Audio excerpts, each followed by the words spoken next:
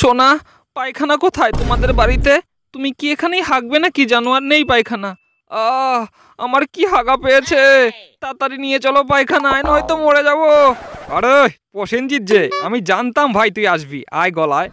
হুম পাদ মারছস কি গন্ধ রে। কেমন দিলাম?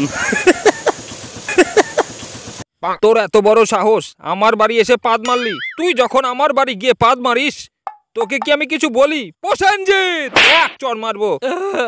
চলে যাচ্ছি। তোর বাড়িতে আর জীবনেও পাতবো না রে। জীবনেও পাতবো না। আচ্ছা।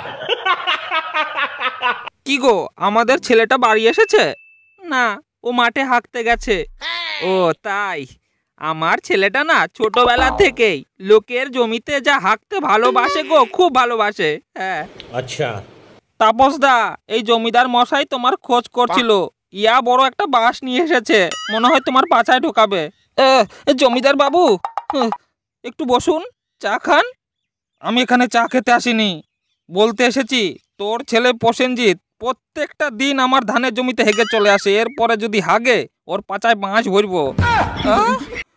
বাস, আমার ছেলের পিছনে কথাটা মনে রাখিস। না বাবু, আর হাঁকতে যাবে না বাবু।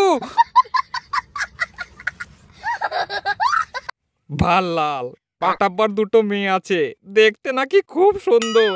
দুটোর মধ্যে যে কোনো একটাকে তোকে বিয়ে করতেই হবে বাবা। দাঁড়াও বাবা।